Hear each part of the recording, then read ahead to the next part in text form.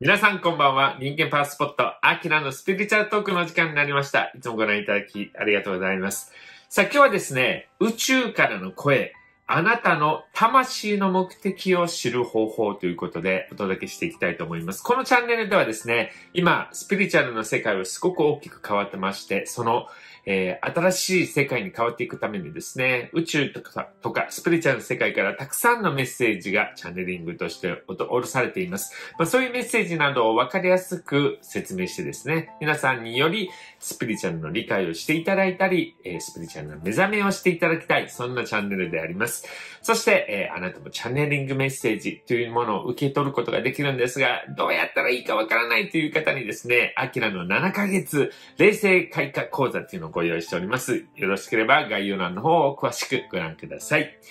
さあ、今日はですね、あなたの魂の目的を知る方法ということで、魂ね、っていうのはですね、目的を持って生まれてきていると言われていますが、どんなものがあるのでしょうか今日ご紹介するのは、カナダ人のチャネラーで、えー、チャネリングを加えてメッセージを落とす人がいるんですけども、えー、カレンさんという女性の方ですね。その方がですね、サライさんというか、えー、まあ、存在のエネルギー体のえー、ものからメッセージをいただくということをやってるんですね。この方がある番組に出てお話をしてたんです。そこで、えー、チャネリングのメッセージをこれから伝えるという時にですね、これをまずはじめに皆さんにお伝えしたいというようなことを伝えたメッセージが、すごくこう、僕たちに大切なものであるしですね、そして、魂の目的というものについてちょっとお話をしてくれてるんです。はい。まあ僕たちスピリチュアルの勉強とかですね、スピリチュアルに興味持ち始めたり、スピリチュアルのことをやっているとですね、やっぱりこの自分の魂の目的っていうのをちゃんと知っておくと、えー、道がですね、行く道がわからない。で、やっぱり目的地がはっきりしてないとなかなかどこに行っていいかわかんなくなっちゃうじゃないですか。まあ、そういう意味でも、えー、皆さんですね、魂の目的を見つけるということをやっていただきたいと思うんですね。で、まず、このカレンさんがチャンネルメッセージでお伝えするところっていうのが、未来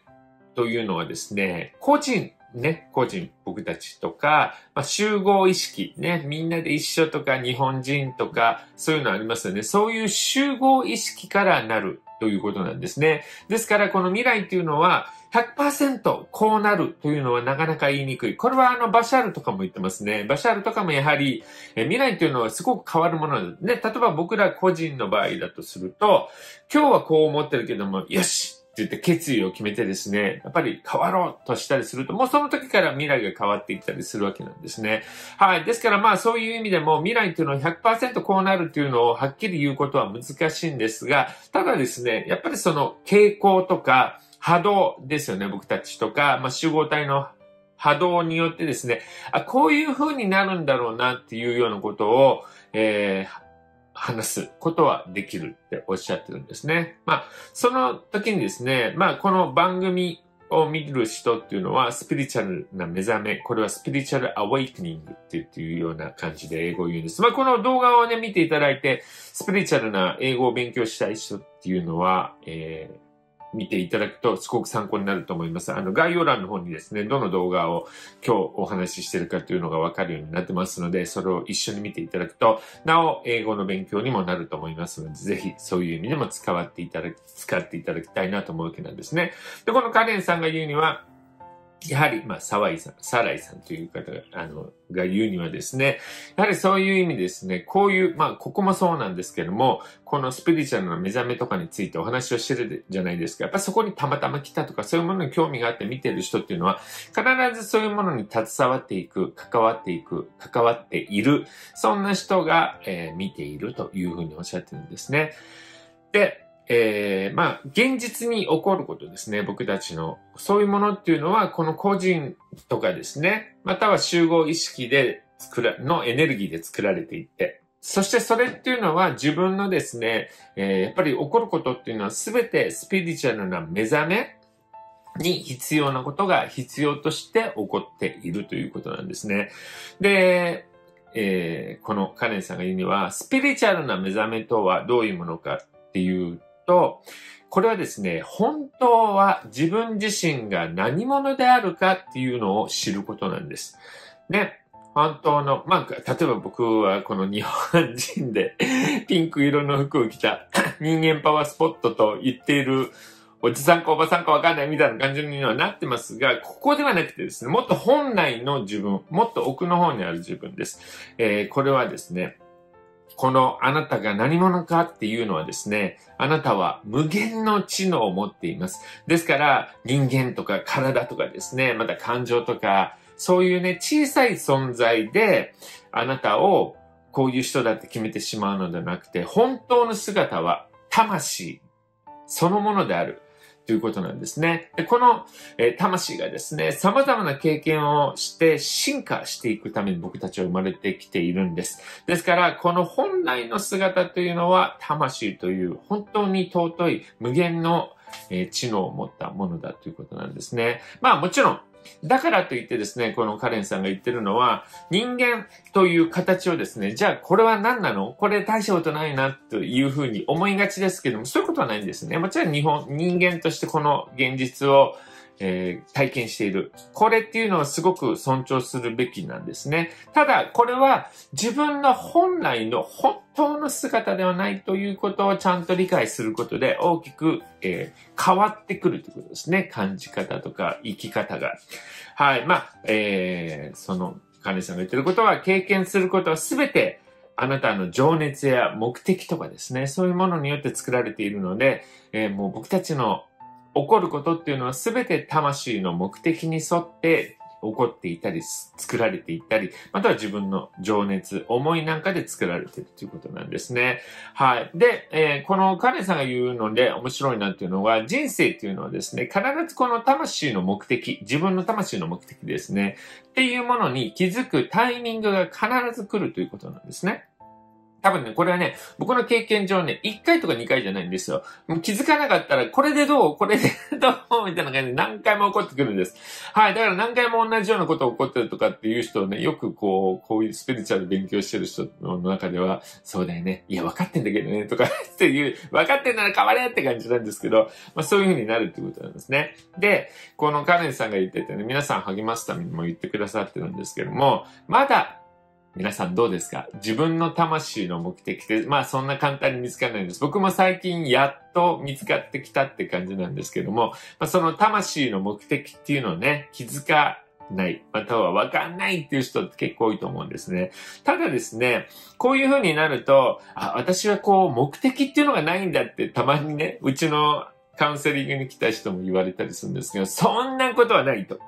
そんな人はいないということですね。魂を持ってこの世に生まれてきたってことは、必ずその魂の目的があって生まれているね。今までの流れで言うと、本当に目的があるので、目的がない人がいないということです。目的がないからね、もうね、もう諦めたっていう風になる人がいるんですけど、いや、それじゃいけないっていうことなんですね。で、その、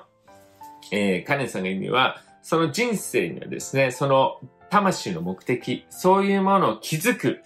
経験がいっぱい起こってくる。まあ、時にはね、すごく、えー、なんか辛い経験とかですね、わっと驚くようなこともあったりしますが、とても興味深い経験として現れてるということです。だから、本当にこの人生の中で、あれなんでこんなことが起こるんだろうとか、ね、いいことも悪いことも含めてですよ。でも、やっぱりどっちも魂の目的があるということですね。魂っていうのは、あの、いいとか悪いとかではないんですよ、本当に。この世の中では、例えば、優勝するとか、成功するとか、お金持ちになるっていうのがいいものになりますけど、お金持ちになるのがスピリチュアル的に、魂的に、えー、目的とか、素晴らしいとか成功ではないんですよね。まあもちろんそこで経験したり感じたり学んだりすることがあったらですね、なるかもしれないんですけども、でもこれがですね、お金は儲けはお金儲けはすごくしないかもしれないけども、幸せを感じたりとかですね、それなりのこう自分の必要な感情とかを、えー、味わうっていうようなこともあるわけなんですね。そういうことができる。結局この魂の目的をちゃんとできた人が本当の意味の、まあ、成功者ということになるわけなんですね。僕らの意味のね。だからちょっとこのスピリチュアルの世界と現実の社会っていうのを変わってくるっていうことです。はい。まあ、こういうふうにですね、魂自身が本当の自分の姿、ね、ちょっと考えられないかもしれないんですけど、ちょっとこういうふうに考えてみてください、たまに。